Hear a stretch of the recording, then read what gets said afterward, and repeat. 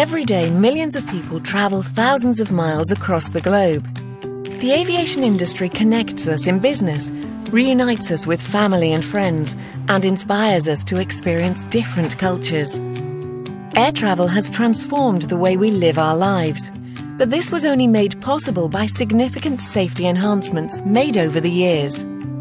Let's roll back to the 1940s, when commercial aviation took off. Back then, crossing the Atlantic took 19 hours, usually in ex military aircraft, with non pressurized cabins, limited propellers, and unreliable piston engines. Navigation was astral, which meant sometimes poor precision. There were no radios to communicate, so this would have been quite a precarious journey. Fast forward to the 50s, and the first jet engine is built, allowing aircraft to fly higher above bad weather. Voice transmission, air traffic control centres, and more advanced navigation aids arrived, completing the Astral navigation system.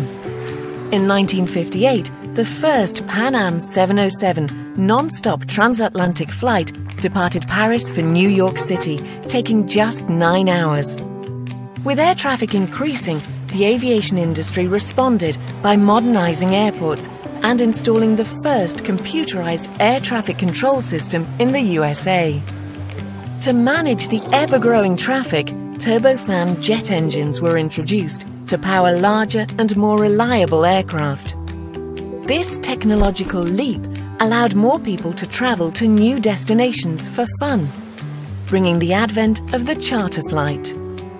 More people travelling, more aircraft to fly some airlines even developed their own schools to train new pilots to fly their expanding fleets.